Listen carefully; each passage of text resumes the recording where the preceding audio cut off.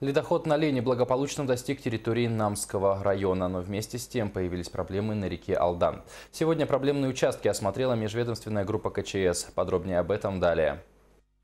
Ледоход на Лене благополучно достиг территории Намского улуса. Близ города Якутска наблюдается равномерный густой ледоход.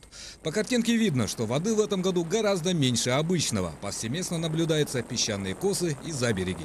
Нижняя кромка по реке Лена находится между, значит, э, Сотинской нефтевазой и островом Селях.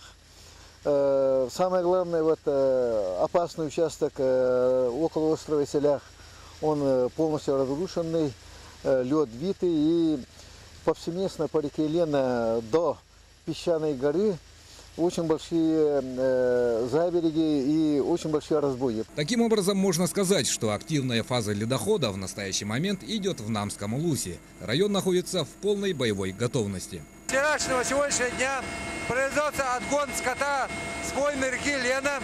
А, В каждом администрации района организовано круглосуточное дежурство а, сотрудников администрации. ЭДДС находится в усиленном режиме несения службы.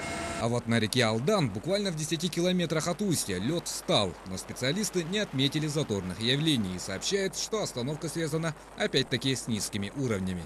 Тем не менее, в селе Дыгдал у Алданского улуса вода хоть и понемногу, но начала прибывать. Это 50 киломе- километров до устья остается.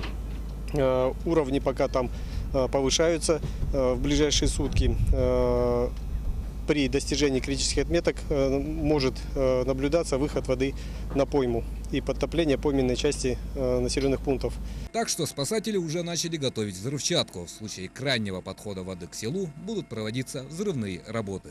Виталий Абрамов, НВК Саха, Намский, Усть-Алданский, Улусы.